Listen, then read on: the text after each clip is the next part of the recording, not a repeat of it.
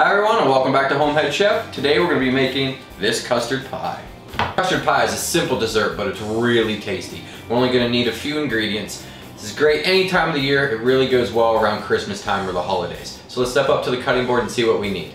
For this custard pie we're going to need one pie crust, homemade or store-bought, that's up to you, three eggs, half a cup of sugar, half a teaspoon of salt, two and two thirds cup of milk, and one teaspoon of vanilla.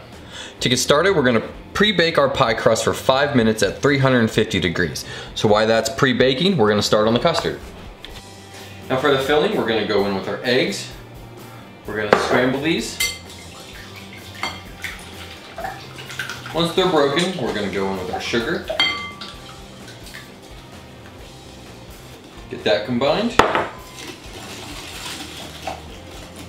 Our salt. Our vanilla. We add a good whisk. We're gonna go in with our milk.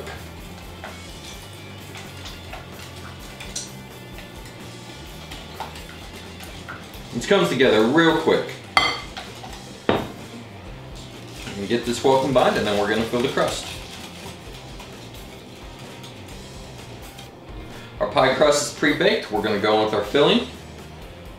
And we're gonna put this in the oven at 350 degrees for about a half an hour to 40 minutes until it's slightly set. We'll stop back and I'll, we'll see it when it's done. Now our pie is done. We're just gonna let it cool for about three to four hours and we're gonna get a taste of it. I'll see you then.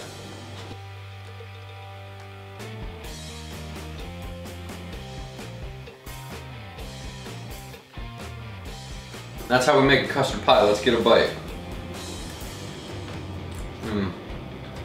It's light, it's creamy, the custard is fluffy. It's very delicate, it's a little eggy, it's sweet from the sugar and the vanilla. The crust has a nice saltiness that goes well with it.